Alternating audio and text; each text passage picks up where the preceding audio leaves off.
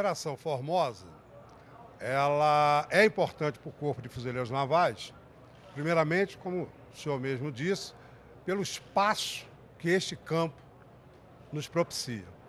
O campo de instrução de Formosa tem aproximadamente 56 quilômetros de comprimento por 26 de largura.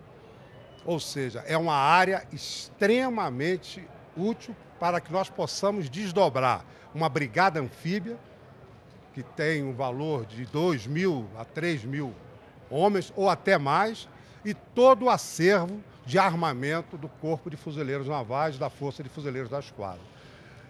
Então, só isso, por si só, já tornaria Formosa importante.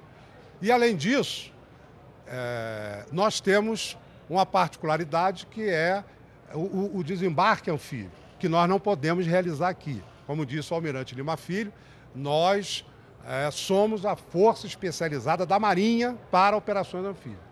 Para tal, nós temos que fazer efetivamente uma pequena improvisação e a gente traz o mar aqui para a área de Formosa, para o Planalto Central e simulamos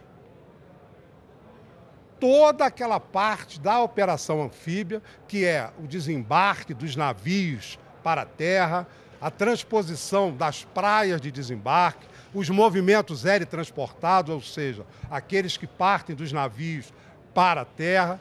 Então, ela nos propicia tudo isso, porque ela tem espaço para simular o mar, tem espaço para simular a área de desdobramento e tem espaço para que possamos atirar com tranquilidade, coordenadamente e com segurança. Então, Formosa para a gente é preciosa. Vice-Almirante, em que tipo de operações os fuzileiros navais estão envolvidos atualmente? É, que tipo, né? Como são? São humanitárias? São de segurança pública? Explica um pouco para a gente. Bom, hoje, além da Operação Formosa, envolvendo quase 2 mil fuzileiros navais, nós estamos na comunidade da Maré, numa operação de GLO desde abril e previsto até agora, término do ano.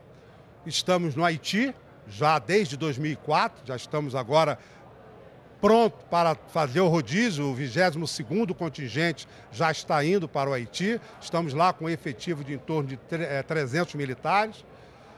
Estamos no Líbano, junto com a força de paz de caráter naval, comandado por um almirante do Corpo da Armada, e temos lá um grupo de reação a ameaças assimétricas do Corpo de Fuzileiros Navais e a segurança do comandante da força, que também é feita pelos fuzileiros navais.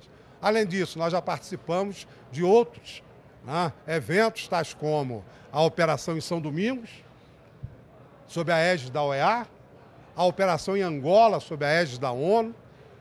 Participamos também de operações humanitárias no Chile, quando houve o terremoto em 2010 participamos das ações humanitárias em apoio à, à, à, à população atingida pelas enchentes de, em Nova Friburgo, na região serrana, e diversas outras operações, e as que foram citadas também já anteriormente, os intercâmbios internacionais com a Marinha dos Estados Unidos, a Marinha da França, como tivemos agora no início do ano, na Bold Alligator com os Estados Unidos.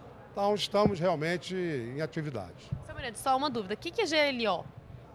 GLO é garantia da lei e da ordem. É, geralmente são as operações em que nós atuamos em apoio aos órgãos de segurança pública.